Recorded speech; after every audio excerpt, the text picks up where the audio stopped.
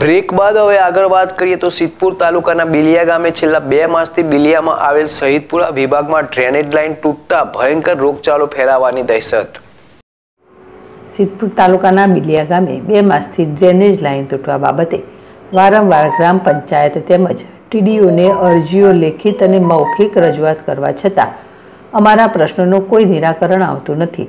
જેથી કરીને આપ સાહેબશ્રી ને અમારા સમગ્ર વિસ્તાર તરફથી વહીવટ વિભાગ કે આ બાબતે બને તેમ જલ્દીમાં જલ્દી ઘટતું કરવા વિનંતી. જે રહેણાંક સ્તરે રોગચાળો ફેલાવાની દહેશત જોવા મળી રહી છે. આમાં આરોગ્ય વિભાગ કે વહીવટ વિભાગ કોઈ ધ્યાન આપતું નથી. આ બાબતે ઝડપી નિરાકરણ કરવા વિનંતી નહીં તો બિલિયા ગામના શહીદ વિસ્તારના લોકો લોકસભાની ચૂંટણીનો બહિષ્કાર કરવા મજબૂર થશે.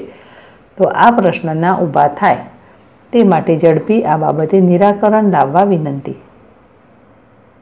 ભરત લીંબાચિયા જેડેશ ટીવી સિદ્ધપુર. છેલ્લા ત્રણ માસથી અમારા સહિતપરામાં ગટરના પાણીનો નિકાલનો કોઈ રસ્તો નથી. વારંવાર ઉગ્ર રજૂઆત કરવા છતાં પણ ગ્રામ પંચાયત કે ટીડીઓ સાહેબ કોઈ સાંભળવા માંગતા નથી. અરજીઓ આપેલ છે આના માટે અમે અરજી પણ આપેલી છે અને પંચાયતમાં બી વારંવાર રજૂઆત કરેલ છે. તેમ છતાં સરપંચ કે કોઈ મામલતદાર કોઈ જોવા આવતા નથી.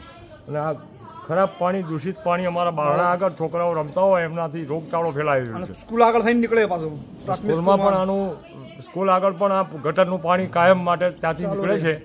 હજી કોઈને સાંભળવા કે આરોગ્ય વિભાગ તરફથી કોઈ પગલાં લેવામાં આવ્યા નથી તો સાહેબ મહેરબાની કરીને અમારી આ પ્રશ્નનો તાત્કાલિક નિકાલ લાવવા માટે મહેરબાની નહીતર અમે ચૂંટણીનો બહિષ્કાર કરીશું.